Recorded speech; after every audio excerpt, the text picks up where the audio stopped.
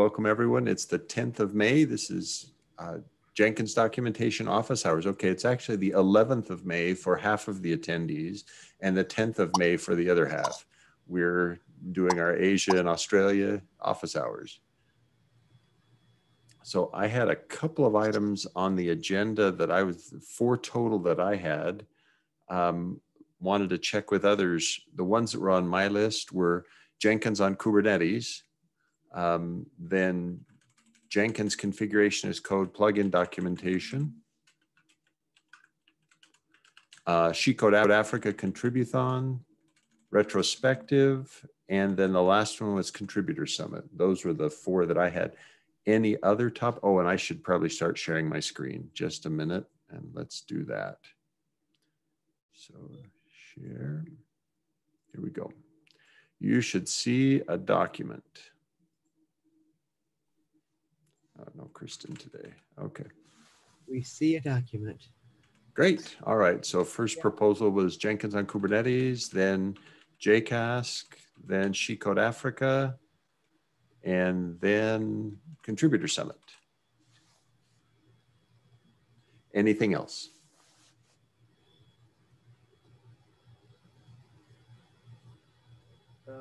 that's all. Uh, yeah, you have covered all the items, Mark. All right, great. Then let's let's start with Jenkins on Kubernetes. So the the there were recent comments on the mailing list uh, regarding um, sequence. Sudhakar, do you want to give us an overview of what you're thinking there and how it's how it's going? Anything that we can help with? Uh, yeah, I'm I'm doing good. Uh, basically. Uh, I have seen the plugin install manager video by the developer advocate. So yeah, it, it looks similar to some of the products I have worked before. So uh, basically, uh, it looks like the use case that we need to document is uh, is uh, is how easy the plugin install manager makes it to upgrade the plugins and uh, uh, basically you just uh, say install one plugin and it just installs all the dependencies needed uh, whether and those dependencies are installed only if they are not present and to the correct release version. So uh, yeah, it looks straightforward for me, and hopefully by next meeting I should have a uh, uh, AsciiDoc out, and uh, um, yeah, I might not have the workspace set up, uh, my GitHub repository. So if I can set it up by next week, then I will put it in my GitHub repository and maybe do a pull request, give it a test drive. But my goal is to finish the GitHub first draft document by next week. Excellent, thank you. So, so I've, I've, I like that. I think it's good for us to talk use cases. So you mentioned the one of update um, existing plugins to latest. And I think that's that's a very that's a crucial one. There are there are some other use cases that are being used in the Jenkins infrastructure project that in a future time after that initial effort, uh, it would be good to include. Let's see, Jenkins configuration as code. Here is, well, let's just go github.com. Yeah, that is updating the Docker file in the Docker image, right? Specifying the properties of the plugin yeah where where you can use you can actually use it to oh let's see is it no it's not configured i'm sorry i did the wrong one. We need plugin installation manager. Yeah. plugin installation manager. No that's not it. I just used this technique today actually as I needed an output that would tell me exactly the plugin versions that were being asked for and and this this thing has examples in it of let's see the one that I used was where was it? It was out, oh, this available updates thing, which allowed me to see which plugins would be would be updated and use a, generate the report output so that I could tell how how it should be done. And I, I was really impressed. It's so the updating plugins is there. That's the use case you were describing. Up yeah, dependency management is easy. Yeah, and then and that that was the one I was dealing with, right? Was dependency management um, as code where uh, plugins.txt with exact version numbers. Yeah. It, it supports preview option also, I guess, no? Right, right, exactly. Another another use case, right? So preview option, uh, sort of a dry run mode to see, hey, show me what what this would do if I allowed it to do it. Yeah. And it's got a no download mode, a skip failed plugins. So so there are all sorts of of novel things that it can do. Show security warnings that will tell them, hey, if you're using a plugin that's got a security warning. Um, yeah, do you and, mind including the URL in this uh, document, that the one that you're seeing, please? You bet, absolutely, right there. So,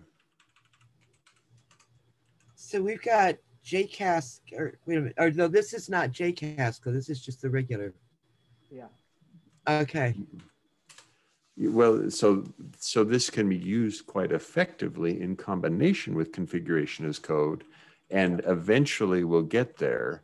But for right now, the first step was document this one thing, but then Sudhakar's proposal was next was how to build control images, and then how to use configuration as code in JCasC, right? So I think I think it's the the right sequence. It's all right, here's how you manage your plugins.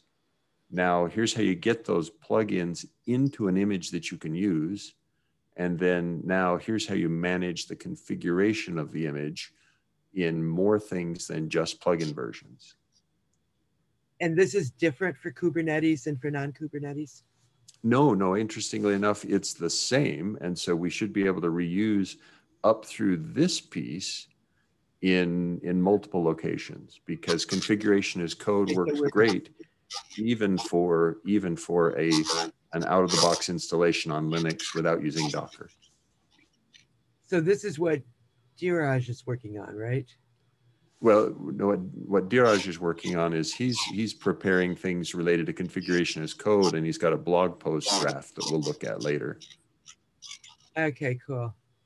I'm confused, but it will become clear in time, I'm sure. Okay. Sudhakar, anything else you wanted to wanted to share with us on this? Ready to go on to next topic? Uh, I do not. Yeah, basically, yeah. I'm I'm searching for uh, Helms Helms charts uh, for various deployment configurations. So. Uh, yeah. So, so let's let's let's put some so here are the community helm charts and let's let's take a look at these. So whoops first let's start from the helm charts that are here and they give us some good insights. And then if it helps you you could also consider so helm charts um, the Jenkins Infra project is using Helm charts um, to configure their own Jenkins servers. And so we may be able to find those. Jenkins dash infra slash Helm. Is that what it is? No, yeah i just basically didn't want to duplicate effort uh, so right exactly Ah, here it is, charts. Okay, but but for me, these are a these are a very promising thing because it gives you a hint of, oh, look, this is how they're doing doing Helm charts that are being used right now in production in various ways. So so the Helm charts that the Jenkins infrastructure is using are here. Yeah. And and you can see how they're doing it, etc. So now now this is shows you not just Helm charts for Jenkins, but Helm charts for all sorts of other components that we maintain as part of our Kubernetes cluster. Yeah. Do we have a chart here for a yeah i found a couple of instances but i wanted to look for the latest that's all it was okay let's see is this yeah okay so i think for instance this one if we look at jenkins here this one is yeah. This one is the, the actual server definition that we use to build Jenkins releases. Okay. So, so it's a, it's a good reference point. Uh, release.ci.jenkins.io is at that location. Okay. Thank you.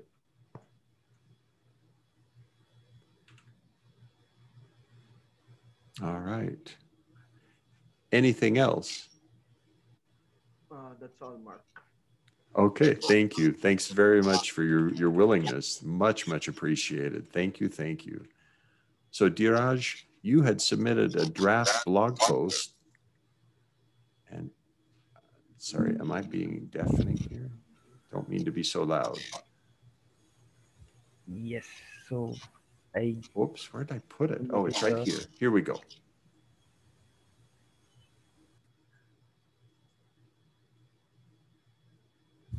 Yes.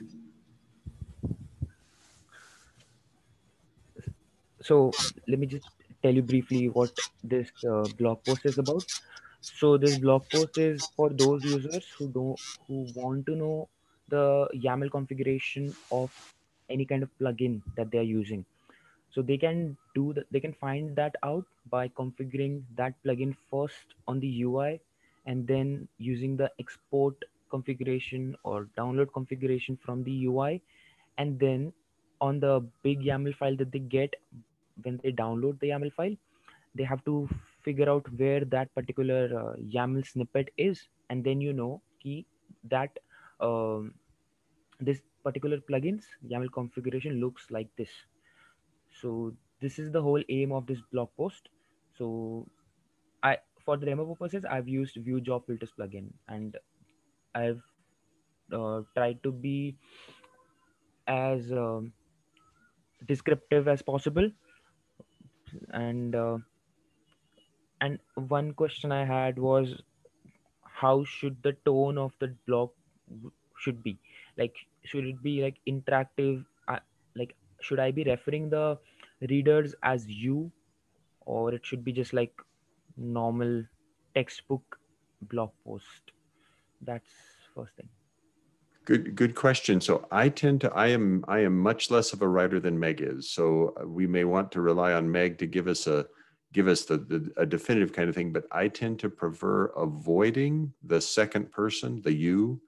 I tend to tend to describe it in, in terms that are, uh, how do you describe it? That using third person. So do this, then do this, then do this rather than you do this. Um, but Meg, do you have any guidance there? What's the what's the best tone for for a a blog post? Is it second person? Give them instructions. Is it first person? I did this. Is it third person? I I favor what you're calling, which is actually imperative voice. Third person would ah. be um, the user should you know the user populates this file with this code. I, that's a little rough. I like, but it's imperative. I, I like that. Um, but a lot of people for a blog do like the informal. I'm kind of a formal writer, so Sure, understood. So I'll do the changes. So- that makes total sense. Well, and Dheeraj, you are welcome to do it in whatever tone is comfortable for you. That there is there is no requirement here, certainly, that it needs to be imperative or or a first per second person, whatever form. That's if if it feels comfortable to you, we will happily accept and and rejoice that you're writing. I might argue too that for a blog, the second person saying you should do this and you should do that is more is kind of appropriate for a blog. When you get into the formal documentation, then I like it to be a little more formal. But I'm also I'm not one of those who ever says please do this in my writing. It's like no, just do it. okay. Well, I'm just learning, so I'm I'll be taking all the pointers from you. So I'll work on this for sure. Great. So now in your in your tutorial here, you're taking them through and nice job gathering screenshots. And in this case, it looks like the screenshots are from current code. So big win there as well. You didn't use something out of date. Thank you. Yes. And and what I see looks looks like the kinds of things that I would expect to see. So the the configuration is code file uh, shown in the user interface. And now I didn't check the size of your images. Um, what's the what's the screen resolution you're capturing it your your images at? Uh, actually, it's not a fixed one. I'm just snip. I'm using the snipping tool and just capturing uh, when required, like not a fixed one. Okay, great. So so you just you you you grab a snip with the the the Windows tool or whichever platform you're on and capture it then. Hmm, yes. So is there a better way to do this? Uh, no, no, that's that's you just described how I do it. Great. I've I've fallen in love with this thing called Go Full Page that will take a picture of my of my web page, but and it's it's free, so you could you could certainly try it, but s- a, a snip tool, a snipping tool with your operating system is also just great. So you're suggesting to, to capture the snip uh, screenshot of full page, right? Yeah, so this this thing, Go Full Page has the well here, let me open it up. You- don't you certainly don't have to use this, but what I find is when I'm looking at my Jenkins machine, I say, uh, give me a picture of this. It takes the picture and then there it is, I'm done. I have the page, or I can now crop in any way I want and still get something out of it. So that that's that's the thing that I've liked about it. It's it's convenient to do, and the simple use of it is free. Right, right. Just one small question on that. So if you are capturing the screenshot of full page and uh, whenever I'm at a particular instruction that I want to guide the users that you have to click on this button.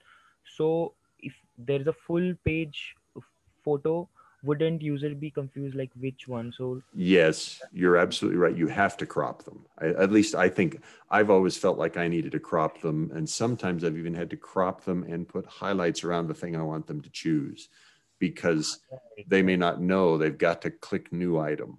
Right? That's it's important. They must click new item, or they Right. must click people, or whatever it is, you know, or they mm-hmm. click manage Jenkins. And if you, if you don't have a way to highlight it to them, Mhm. you can be confident they'll miss it.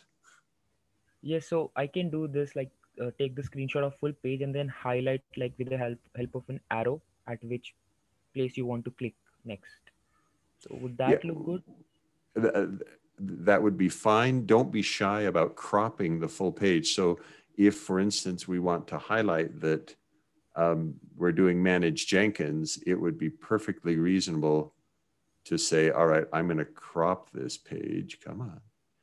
And I'm going to crop it to only have those things that are relevant to the user right so your your cropping technique you're using is a really good one don't don't don't give up on that technique Yes. Because now it's now it's much more clear to them oh yeah look there's only one thing highlighted on the screen. It's this manage jenkins. I know i need to click there. Okay. Okay, understood.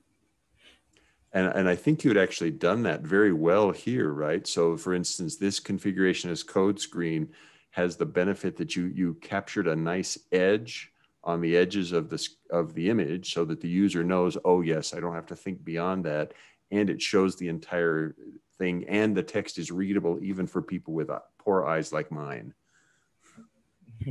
Yes, so Yeah. that was my like to be to be more clear for the user. So just question on this one. So it, the instruction says now click on the download configuration button. So do you want me to put an arrow or highlight that button in the image to make it more clear? I- or it's I- I'm not I'm not deeply attached to that because this particular image for me seems seems pretty clear. Uh, Hmm. there there isn't a lot of confusion for me on this image. It looks perfectly reasonable when you say click on download configuration. There's only there are only four buttons. Hmm. It's this Right. isn't nearly as rich in controls as as the Jenkins main UI is, right? If you sh- if you have to for some reason show an entire the entire Jenkins page, Mhm. then they're going to struggle to find it. But with this, I think it's just great. right. Understood. Meg, anything you would guide there? Is does that make sense? What I'm describing, or am I? explaining what as I glance at it, because I'm not real from um do they is they only type in the path or URL if they want to change from what's the from where the configuration was previously loaded? Or Actually, path or URL is entirely optional, and and in this case, not even being used in this in this blog. so are so do we tell them that? Because I always I see a blank thing. I I don't know how to fill it in or tell me that you use you know if you want to reuse the same location. Ah, ah, that's an interesting point. Okay, so your point there is is okay. I'm going to put a comment here based on that. So, should we should the blog note that the existence of the other fields like path or URL and explain that they're not used in this yeah, you don't need just say you don't you can leave that blank or something. The other one that I saw, scroll down just a second. I think the next thing is about the view section. Okay, just a minute. All right. Okay. with it. Um, God, nitpicking. Don't you love being copy edited in real time? Um, this is where I would say you can see details related to the view. I have to think a minute about that. I would be inclined to say go to the views section and make that a black backtick literal. And then I can open the file and search for it and get there right away. So is am I YAML file. It's, it's to locate the part where you can see. I, got it? I I see. that with um, go to the views section, which shows details related to the view or something like that. Yeah. Uh, So okay, good. understand- Yes, so if I understand this correctly, you're suggesting me that it's difficult in this photo to know where the particular YAML uh, uh, configuration of view is. So you want me to highlight it really well. Yeah, and I think I think it's I think that's a good point. So is there a this may be a place where you really do need to put a box around the views section here because that's the Mm. section that's relevant, right? You've highlighted it to them by putting it in the middle of the screen, but it may be best to even this one really draw a box around it because of all the other surrounding text. Hmm, sure, I'll do that. If people don't read anymore, they search. Yes. Okay. One person's opinion. Feel free to ignore the multi-scribe. and and so as we go forward then you show them hey change the name and set duration so here the, here again there's a place where we probably want to highlight duration mm. and the name, and very right. conveniently, they're close to each other. Good choice. It's like if you put a box around that region, they'll see, oh, here's YouTube demo view, and here is build duration minutes. Sure, I'll totally do that. Great. Okay. Oh, oh, and you did use the Pather URL. Okay, yes. good. Nice. Is just to apply the configuration that you've just uh, changed locally. Right. So what you're doing here is you're showing a feedback loop for the user. They can they can prepare the changes themselves, uh, mm-hmm. then test them by applying the configuration. Oh yes, did that do what I wanted? No. Here's what I need to do instead. Then.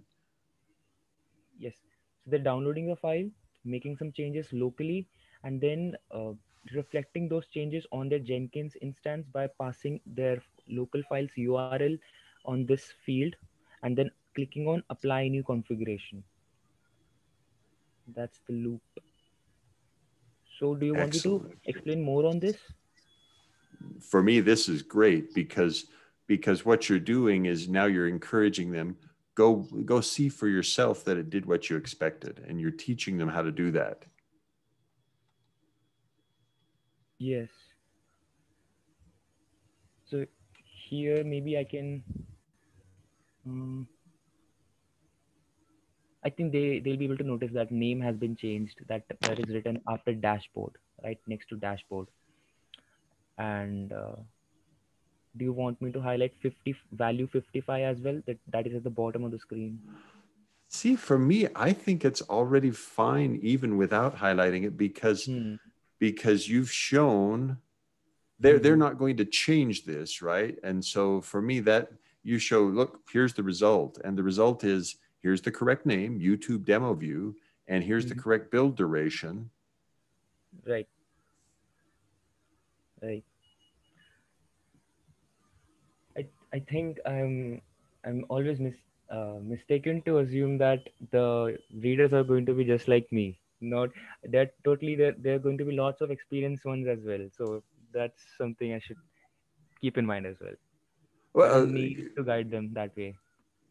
Well, I mean, it's it's certainly your blog post, and you are welcome to do whichever direction you go, whichever direction you choose. But but I, for me, I think if you think it will help, by all means, highlight it. If you think if you think, oh, don't want to do that extra work, that's great too. Right. I, I think i'd pass on this one. I don't want to do it because as you said it's already very clearly visible the name m55 value. So that's okay. I don't want to overdo it. Great yeah this this looks really good Dheeraj. Uh, that thank you very much so now are you comfortable converting this into AsciiDoc and getting it ready to submit as a pull request mm, i've never done that but i will surely do it first by myself. Okay, great. Yeah, so the what you'll find is there are there are instructions on the the contributing page. Let's go there. GitHub in jenkins.io there are instructions here on how to how to add and specifically there is adding a blog post and this should take you through it. And if you find there's a mistake here or something that doesn't work the way you'd hope, uh, please go ahead and ask questions. Now, there, there is a fun one that I like this thing called Open Graph, which allows us to embed and associate an image with a blog post so that when we post it on Twitter, uh, it has a picture with it. And so that gives you a chance to do, do, to create a picture that can be the the sort of highlight of your blog post. That picture might be um, this image or it might be one of these images or something else that you think would help people recognize that this is about configuration as code let's see oh, oh actually we've got another owen that, that we could use you could grab some jenkins artwork so about artwork. And if we look here, here, see this one right here? Yes. If you can find a way to put a reference to this image into your blog post, go ahead and do it because we've already got that image on the site. And this is the configuration is code artwork. Oh, okay. Okay. So he, it's just a fun, it's a fun Mhm. image to, um, if, if we look at some of the other blog posts, let's see, let's get a, a quick look. Some of the things that we've done in the past. Well, let's see, here's one. Putting the pictures of various contributors into this blog post or putting, let's see, what's a, another one? Ewelina Wilkosz, here we go. This one has her picture in it. So uh, photos can, can actually help people be interested to read. So go for it. Right. I'll totally do that. Let me, and I should, I should have made a comment on that, that the, let's see, how about if we just put it here?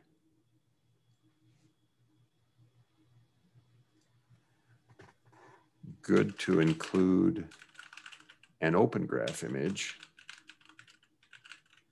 possibly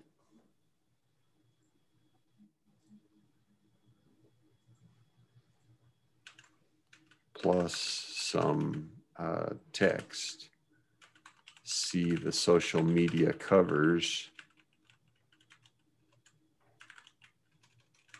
Slide deck for examples. And now I'm going to bring up the social media, oops. The social media covers slide deck. what this is is this is a series of of uh, Google Slides that we use for for to generate open graph images. So each of these, if I do file, download PNG, I get something that is very nicely sized to be an open graph image. So you can that- you can then use Google Slides, and I'll I'll put a link to this into the. Mhm. There we go. This would make it more interesting, the blog post. That that's the hope anyway. I I Yeah. I am I am not nearly artistic enough to actually be good at this this work, but I think it's helped people by having these pictures. For instance, Jenkinstein. And he can do both the the JCasC Butler and his own picture, right? Absolutely, yeah. So you bet. Could copy this deck or propose a change in this deck. So so for instance, if we said, well, let's see, we could, yeah. My technique was is commonly I'll put some text in there and then embed the image I want to put into the same thing so that now I've got it. Mm, right. I'm curious totally what you're going to reference for the resource for intro to JCasC. All Well, I so I put I put three different video links here as possible possible references. Wasn't sure, and and this is one Dheeraj where I'd suggest you want to maybe want to watch all three of them and decide which one you think is the best introduction. One of them is from uh, Nicolas De Loof and uh, Ewelina Wilkosz uh, from like 2017. Another one is from, let's see, this one is from, where is it? This one is from like 2018, and this one I think is Oleg and and me and Alex. And yeah, this one is is another one from 2019. So so look at them and see which one you think is a good one. And hey, you could make a hyperlink there. If you want, you can actually even embed the video itself so that they could click it and play the video. But if I remember right, you were planning on possibly doing a video yourself and Yes. this video. It's yes. Oh, it's already there. Okay. I have not viewed that video yet. Okay, good. Yes. So Excellent. initially it was five minutes, but definitely no one would watch it. So I reduced the time and tried my best to keep it two minutes. So if you want me to go less than that, then I can try for that as well. Oh no, no, that's great. So you've you've got a demonstration here. This should be top center of your of your blog post. Absolutely, because AsciiDoc has the ability to embed. So insert the video here as a video player frame so that they can click it immediately. It, it, gives them, and you may even want to, yeah, that's that's about right because this much text will only be about halfway into most screens, and then they'll see the video and realize, ooh, I can watch a movie. Right. So, Definitely. Excellent. Uh, now, and there is a there is some. Let's see. We've got. Where is an example of an embedded video. Just a minute, let's find one. I think that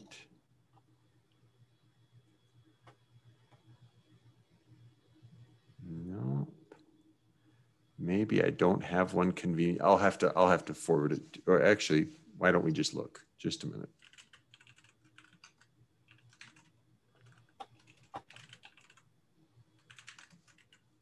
Let's find the right environment. YouTube. And if I remember correctly,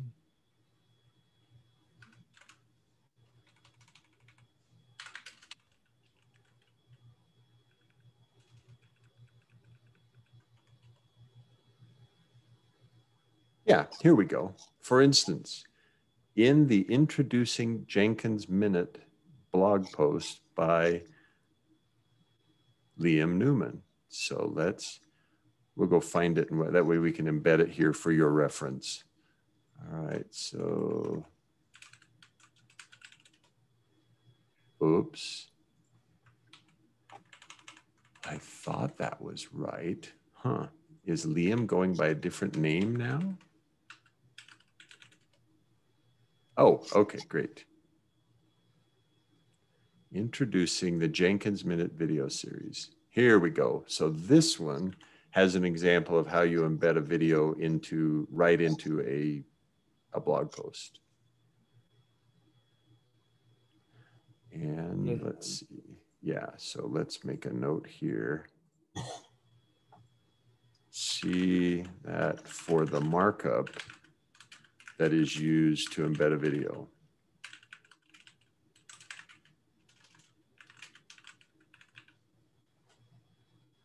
Good, very good.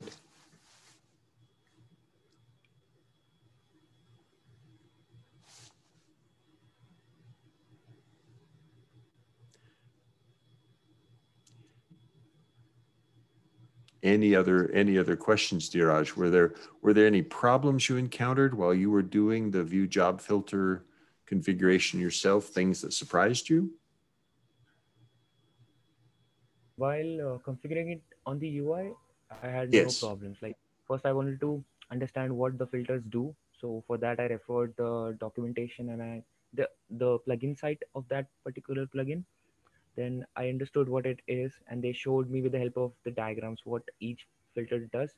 So I was able to understand how to go about it, and then everything was else was simple. Very good. Excellent. Thank you. Thanks very much. Anything else you'd like, any other questions you'd like to ask, or any other guidance that you're seeking? Yes. So now I know what changes I need to do. Then I'll do that, and after that I'll set up the Jenkins uh, environment and then post my doc blog post. And after that, what other doc uh, blog posts or anything else that we are looking for that I can write? I'm asking for suggestions from you. Thank you. Yes. So so if you're willing to do another another another on configuration as code, for instance, you could highlight some other capability or if you, and configuration as code has many things. So for instance, here you've done a, a, a job filter. You could do another on, on configuring, configuring global settings or if, the, if you're open for a particularly challenging one, you could look at how you do credentials in configuration as code. And credentials and in configuration as code is relatively challenging because you don't want, well, you're trying to you're trying to handle secrets well. And secrets are, are challenging, at least for me, trying to find the way to manage secrets correctly. Right. So I think that would be interesting. So I'll uh, read about it for sure. Great. Um, is it just me? Is there any interest? The documentation that we have is in the README for the repo. And it seems to me that it should be pulled into the regular admin, into the admin guide. is that just me? Does anybody else feel that way? Oh no, I, th- I think I think that's exactly agreed. Sudhakar has sees that as well and has outlined it that way. Absolutely. I think though that before we're ready to to do that step, we need to be sure that we got people who are confident using it. So I wanted to be sure that Dheeraj has a has enough experience before starting to do that kind of a transformation. Likewise for Sudhakar, if we need to be sure they're comfortable using it before they start transforming the documentation into okay. the into the site. Yeah, I agree.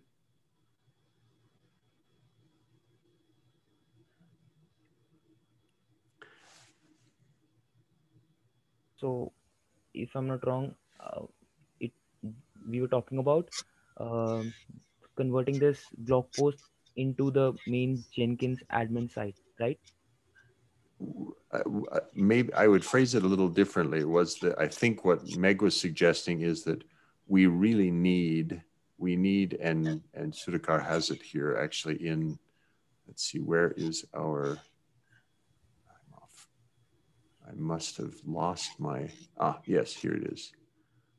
So use of the JCasC plugin needs to go into the Jenkins documentation itself. Right now, in, if you want to use configuration as code, you have to find a video that will guide you and then read the documentation that's inside the plugin itself. Right, you have to go to go to the configuration as code page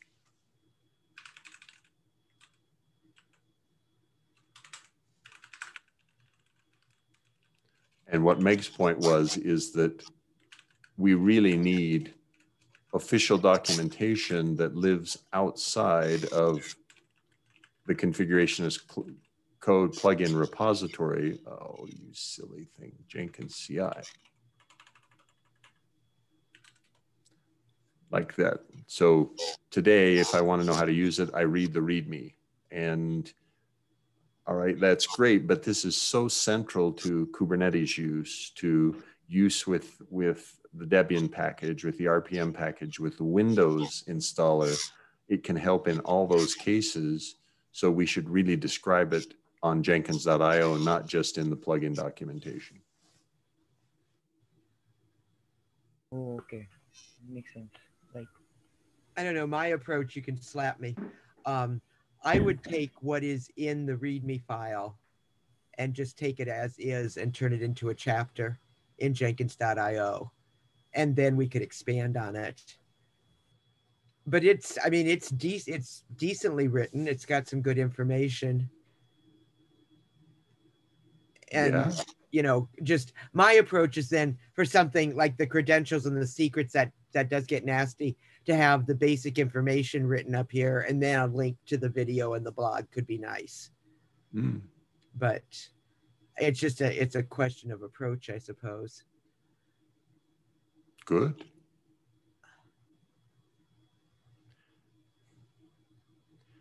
Yeah, so secrets management. Yeah, there it is. So okay. Yeah, and that that's I think Meg's got a good a good idea. The, the notion that okay, should we just take this material and transform it onto the Jenkins.io page? So Meg, let's let's take a minute and just look. So when I look at here, for example, so we've got managing Jenkins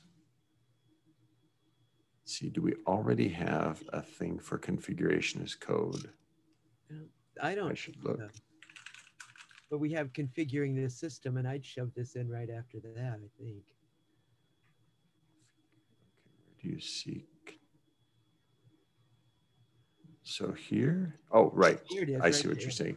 Yeah, got it. So this, this makes, actually, this might be a great place for it is right on this page. Right? Configuring the system page would be a, in fact, that, is that where we had suggested it, Sudhakar, when we were discussing with, in your outline? Yeah, yeah. Configuration as code. We we, we have already have an action item on that. Right. So we've got a location for it. Yeah. And this configuring the system seems to make sense. So we don't have The way I anything that can be said about configuring the system without JCasC. Yes. No, no, there's there's also plenty to be said there, but it feels like JCasC could easily be a, a dominant portion of this page. Yeah. That describe configuration as code as a general concept and then introduce Jenkins features in uh, regular uh, classic context and in Kubernetes context. Uh, so these are the items. The way I looked at it is I looked at, okay, uh, we are going to do Kubernetes solutions page, right? And then I I listed my top level activities and then I tried to go through the documentation and see what is there and what is missing. And then I came up with my list. So one of the things that was missing was configuration as code uh, topic. Yeah, and I think this is the right place to put that. Yeah. And and certainly there will be other other things in this same page, but we've got we've got multi-topic pages in many places, right? So for example, let's pick, let's see, what's a good one? Managing users may have no. How about managing nodes? Nope. This this section is woefully incomplete. Here we go. Themes for the user interface uh, has multiple sections. And so I think configuring the system, one of its sections underneath this page could easily be configuration as code.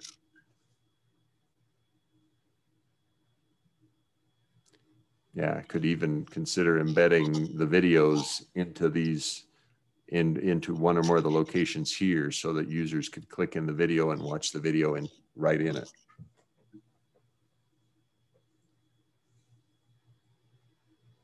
Yeah. So, so Dheeraj, back to you. This is a place where, if I understand correctly, Sudhakar, you're going to be, you'll probably be a little while before you would get to this spot. So if Dheeraj wanted to explore this and try copying content in, we could look at that as a possible thing. We could, we could see, have him held. Would you be okay with that, Sudhakar, or would you rather keep this one solo? Uh, that's fine if he, if Dheeraj wants to do it, but uh, yeah, I want to give it. Uh, okay, uh, the approach I had was describe the concept Mm-hmm. and then go through how to use it. Right. And, Uh, and I uh, think that's, oh, go ahead. yeah, and that is the approach I am I am planning to take for pretty much whatever I'm planning on doing. Mm.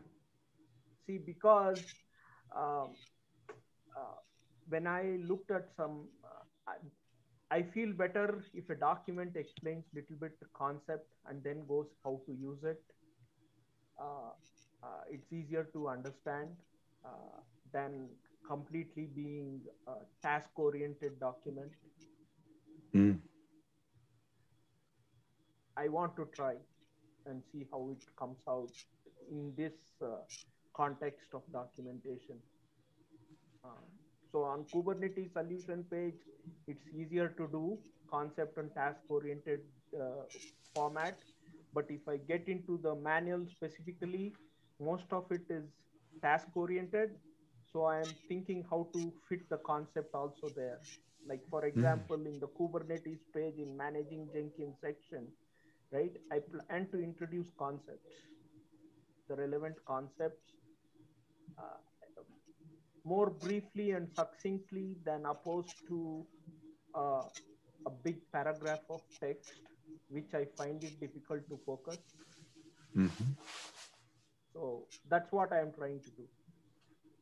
If, well, and, uh, Dheeraj wants to do it, uh, well, certainly the, the Kubernetes the Kubernetes topics are very both broad and deep, right? So so they are that's an ideal place for your your technique of describing concepts. Certainly, that makes sense. Absolutely. Yeah. So for configuration of code, if yeah, that's what I had in mind. So uh, to, it is easier to be consistent if I do the whole thing, but right. Yeah, that's the only issue I have. For uh, the only yeah, and I, I think you've got a good that I have to do with hmm. myself. That, that's a good point. With a with with if you do the entire Jenkins on Kubernetes, we will get more consistency than if we have multiple people attempting to do it. That, I think that makes sense. So that may lobby that rather than putting Dheeraj into this section, let's have him look at others for now and see how, how your progress goes. Yeah, my progress should be pretty quick once I get started uh, on uh, putting things to paper. Okay. Rather putting things to screen. Yeah. All right.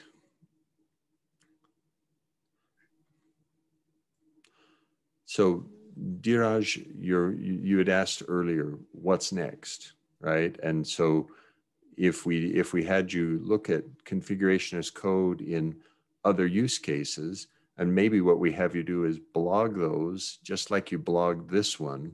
If you were to blog, a, hey, here's how I use secrets with with it, that gives a way for your your contribution to be visible quickly and and get you experience with configuration as code and highlight you to others would you be willing to do a second blog post on configuration as code? I think there are many different topics on on configuration as code that could fit into a into a series of blog posts.